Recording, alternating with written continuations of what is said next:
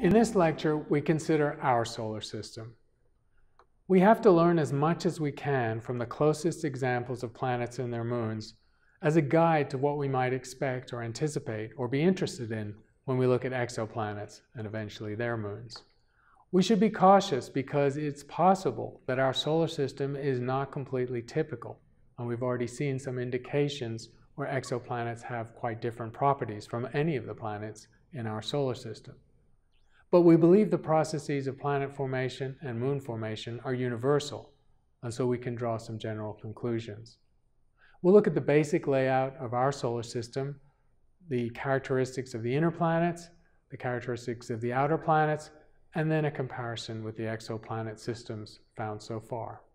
In broad brush terms, our solar system is composed of the central star, the Sun, comprising 99.9 or more percent of all the material, and composed almost entirely of hydrogen and helium, the four terrestrial or rocky planets, and the four Jovian or gas giant planets.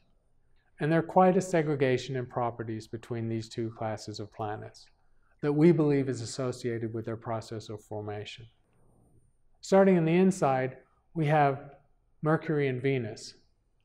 Mercury is geologically dead with no atmosphere, and its bare surface is exposed to deep space and the radiation from deep space. It's tidally locked with the sun, and so one side is blasted by solar radiation from a very short distance, and the other side faces into deep space at a temperature hundreds of Kelvin colder. Mercury is almost certainly geologically dead. We have visited Mercury recently with spacecraft and confirmed that it is somewhat moon-like in its properties and appearance. Venus is the closest twin to the Earth and therefore interesting for that fact. In fact, it's very much a geological twin, identical in mass, size, and interior structure. Venus is highly geologically active, and we believe it was subject to a runaway greenhouse effect that raised its surface temperature to its current 900 degrees Fahrenheit, a temperature at which lead would melt and paper would spontaneously combust. The pressure at the surface is 100 or more atmospheres. This is very dissimilar to the Earth. And the question arises, how could such a twin of the Earth in its global attributes have such a very different evolutionary path. Even more interesting is the fact that the inventory of carbon dioxide in the atmosphere on the Venus is about the same as the total inventory of carbon dioxide in the atmosphere and oceans of the Earth. The difference is that on the Earth, most of that carbon dioxide is dissolved in seawater, rendering it slightly acidic. On Venus, we believe that the larger amount of carbon dioxide led to a positive feedback cycle called the runaway greenhouse effect. Whereas the atmosphere thickened, the carbon dioxide is a heat trapping gas that trapped more radiation, which released more carbon dioxide. Remember, this is a volcanic planet, and volcanoes a primary source of carbon dioxide on the Earth and in Venus. And so the process accelerated, ending up in a smothering atmosphere of enormous heat the larger temperature of the Venusian surface cannot be explained by its proximity to the sun, because that's not a very large effect. The atmospheric composition also has other toxic components. There are ammonia, sulfur, sulfur dioxide, sulfuric acid even, and acetylene.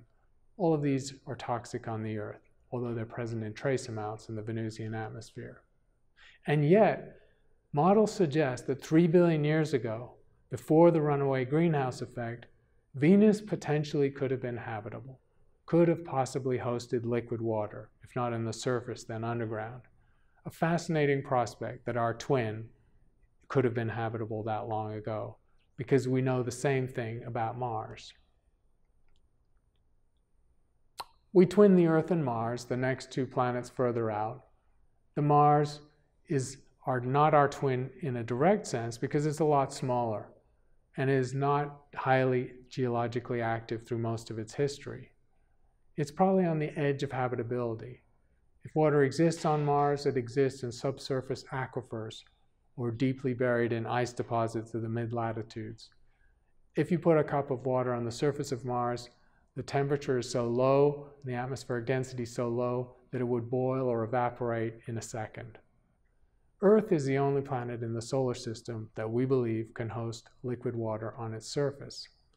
And it's our thick atmosphere that helped retain that water. Mars has the old cratered surface, indicating that its last geological activity was a billion or more years ago.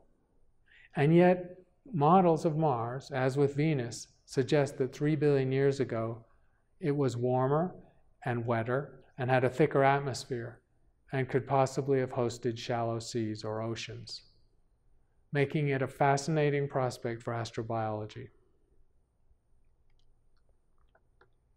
As we move into the outer solar system, the two twin gas giants of Jupiter and Saturn account for most of the mass of all the planets combined. Jupiter itself accounts for over two thirds of the mass of all the planets in the solar system. The colors of these gas giants have often been seen in the enhanced colors of early NASA images. Their actual colors are much more gentle, pale yellows and pale browns. The surface features are not visible. Those rocky cores are hidden by deep clouds. So what you see are the outer cooler cloud belts circulating around the planet, very large wind speeds of hundreds of miles an hour on both of those gas giants. Gravity of Jupiter has been important in the history of the solar system because it's actually served to protect the Earth from impacts early on. Both of these gas giants have atmospheres composed of about 75% hydrogen and 25% helium, similar to the Sun's composition. The typical density of these gas giants is low. It's often been said that Saturn would float in water. The color of these planets, the mild colors you see, are caused by a little sulfur dioxide and ammonia mixed in with the hydrogen and helium. Saturn has obvious icy rings, but with spacecraft missions, we've seen ring systems, much thinner and less easily seen, around all of the gas giant planets in the outer solar system. There's less known about Uranus and Neptune because they have not received as much direct visitation by NASA probes over the decades. These ice giants are smaller, more frozen cousins of the two gas giants Jupiter and Saturn. Uranus has a small rocky core and an atmosphere of mostly hydrogen and helium, and a very thin ring system. It spins on its side with its pole tipped by almost 90 degrees with respect to the ecliptic, giving it enormous seasons of almost a century of summer followed by a century of winter. The reason for its large axial tilt is unclear, but it's probably caused by a collision during or shortly after its formation. Neptune has a beautiful pale blue color primarily due to the methane in its atmosphere. And it also has a magnetic field that's offset by a large degree from its orbital tilt, unlike the Earth, where these axes are quite closely aligned. Neptune has the fastest winds in the solar system, reaching speeds of over 1,000 miles per hour. And its ring system is subtle and only partially complete. In this summary, we see the difference between the rocky or inner planets and the gas giant or outer planets. For the inner planets, large objects made of rock and metal with a solid surface, few or no moons and no rings. But in the outer solar system, mostly hydrogen and helium, no solid surface visible, although it appears to be interior and measured indirectly, rings and moons around all of these gas giant planets. And where do we fit in Pluto to this picture? Well, as you probably know, Pluto was demoted from the pantheon of planets in 2006 by the International Group of Astronomers meeting at their triennial convention. Until then, we did consider Pluto one of the planets in the solar system. But to be consistent and based on what was known about planets and their formation, astronomers decided to demote it to a dwarf planet and so it's not officially one of the planets in the solar system. Why was this done? Well, beginning about 15 years ago, uh, planetary scientists looking for rocky bodies in the outer solar system started to find large objects in the Kuiper Belt. The Kuiper Belt is a loose zone extending from about 40 to 80 astronomical units of rocky debris. Most of these are the size of asteroids, so quite small, tens or hundreds of kilometers in size, but some of them are quite large, and eventually the largest of these were found to be the size of Pluto or even Mercury, and in fact, one is known to be larger than Pluto. It's also speculated when, when these surveys are complete, there may be as many as three or four Kuiper Belt objects found to be larger than Pluto. So, for consistency, if planet definition was only based on size, they should be added to the list of planets in the solar system. This started the debate. The first object measured to be larger than Pluto was called Eris. Actually, its discoverer, Michael Brown from Caltech, thought he could name the planet himself, and so he called it Xena. And it actually had a small moon called Gabrielle. He was, however, overruled by the International Astronomical Union that governs the naming of planets and solar system bodies and constellations and so on. They tend to be given Greek or Roman names or names from world mythology. However, the finding of a larger object than Pluto opened up the can of worms in the definition of Pluto as a planet. The other thing that was determined about Pluto using simulations is the likelihood that it was captured from the Kuiper Belt at some point early in the history of the solar system. So it has not always been at its current location.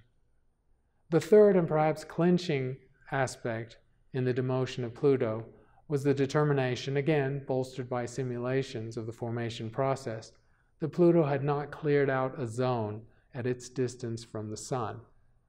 So, by the triple criteria used for the definition of a planet, it was demoted to the status of a dwarf planet. And now we also know of another small set of dwarf planets along with it. And we can summarize in this lecture the properties of our own solar system, which we hope to be indicative of what we might find in extrasolar planet systems as we learn more about their detailed properties. In our solar system, the inner planets are rocky. The Earth is special. Although there are other planets with magnetic fields and geological activity, the Earth is the only terrestrial planet that can host liquid water on its surface. However, models suggest that both Venus and Mars in the distant past, perhaps 3 billion years ago, could have hosted liquid water and been habitable. The gas giants are unlikely to be habitable in any aspect. They're large composed of hydrogen and helium with internal rocky cores that are subject to intense physical conditions of temperature and pressure. Meanwhile, a third category of planets has been declared, that of the dwarf planet. Pluto was demoted to the status of a dwarf planet about a dozen years ago, and since then we found other dwarf planets, objects small enough that they were either captured into their current orbits or were not able to clear out a zone as the planets formed in a protoplanetary disk. We anticipate that dwarf planets will also exist in extrasolar planet systems, although they are currently below the range of detectability.